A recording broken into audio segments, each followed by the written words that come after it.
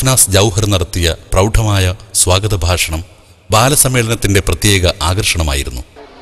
അറിവ് സമാധാനത്തിന് എന്ന മഹത്തായ ആശയവുമായി ഈ മനോഹര നഗരിയിൽ നടന്നുകൊണ്ടിരിക്കുന്ന M S M Kerala students കോൺഫറൻസിലെ ബാലസമ്മേളനത്തിലാണ് നാം ഇപ്പോൾ അതിലേക്ക് ഏവരെയും സ്വാഗതം ചെയ്യാനാണ് ഞാൻ നിങ്ങളുടെ മുമ്പിൽ നിൽക്കുന്നത്. മാനവരാശിയുടെ വിനാശത്തിന് അറിവ് ഉപയോഗിച്ചു കൊണ്ടിരിക്കുന്ന ഈ കാലത്ത് അറിവ് സമാധാനത്തിന് എന്ന വിഷയം തീർത്തും സന്ദർഭോചിതമാണ്. സൃഷ്ടാവായ നിന്റെ രക്ഷിതാവിന്റെ നാമത്തിൽ നീ വായിക്കുക എന്ന ഉദ്ബോധനവുമായി അവതരിച്ച ഖുർആന്റെ അനുയായികളാണ് നാം അതുകൊണ്ട് തന്നെ അറിവിന്റെ പ്രാധാന്യത്തെ കുറിച്ച് കൂടുതൽ പറയേണ്ടതില്ല. എന്താണ് യഥാർത്ഥ അറിവ്? മനുഷ്യനെ ആത്യന്തിക വിജയം നൽകുന്ന അറിവ് ഏതാണോ അതാണ് യഥാർത്ഥ അറിവ്. അതായത് അള്ളാഹുവിനെ കുറിച്ചുള്ള അറിവാണ് യഥാർത്ഥ അറിവ്.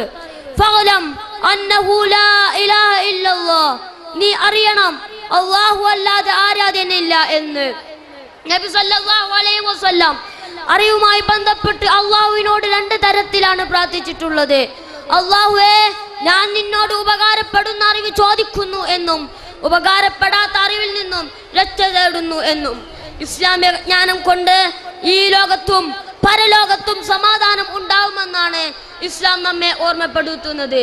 എന്ന് വച്ചാൽ മറ്റു വിജ്ഞാനങ്ങൾ നേടുന്നതിന് ഇസ്ലാം എതിരാണ് എന്നതിനർത്ഥമില്ല. മറിച്ച് സൃഷ്ടാവിനെ അറിയാതെ ഭൗതികമായി എത്ര ഉന്നത വിദ്യാഭ്യാസം നേടിയാലും അത് അപൂർണമായിരിക്കും. ഹൈഡ്രജനും ഓക്സിജനും രണ്ട് ഈസ്റ്റ് ഒന്ന് എന്ന അനുപാതത്തിൽ കൂടിച്ചേരുമ്പോൾ വെള്ളമുണ്ടാകുമെന്നത് ശാസ്ത്ര പാഠപുസ്തകങ്ങളിൽ നിന്ന് ലഭ്യമാകുന്ന അറിവാണ്. എന്നാൽ ദാഹിച്ചു വളഞ്ഞു വരുന്ന ഒരാൾക്ക് ഈ വെള്ളം കൊടുത്താൽ അയാളുടെ മാറുമെന്നും ഇതുവഴി പുണ്യം ലഭിക്കുമെന്നുമുള്ള അറിവ് ശാസ്ത്ര പാഠപുസ്തകങ്ങളിൽ നിന്ന് ലഭ്യമല്ല.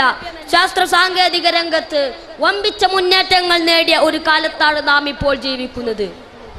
ഒരൽപ്പം വിജ്ഞാനം നേടുമ്പോഴേക്ക് എന്തെങ്കിലും ഒരു നേട്ടം കരകതമാവുമ്പോഴേക്ക് സൃഷ്ടാവിനെ വെല്ലുവിളിക്കുകയും തള്ളിപ്പറയുകയും ചെയ്യുന്ന ഒരവസ്ഥയാണ് നമുക്കിന്ന് കാണാൻ കഴിയുന്നത്.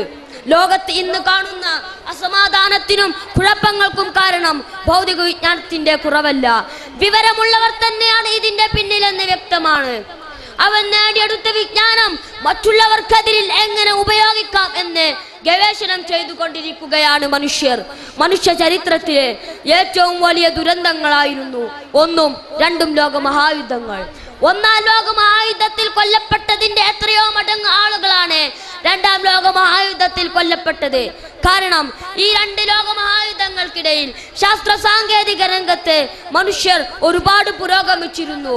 അവന്റെ വിജ്ഞാനം അവൻ കൂടുതൽ ആളുകളെ കൊല്ലാനും കൂടുതൽ നാശനഷ്ടങ്ങൾ ഉണ്ടാക്കുവാനും ഉപയോഗിച്ചപ്പോൾ ഹിരോഷിമയും നാഗസാക്കിയും ഉണ്ടായി. തൊണ്ണൂറ് ലക്ഷം ആളുകളാണ് രണ്ടാം ലോക മഹായുദ്ധത്തിൽ കൊല്ലപ്പെട്ടത്.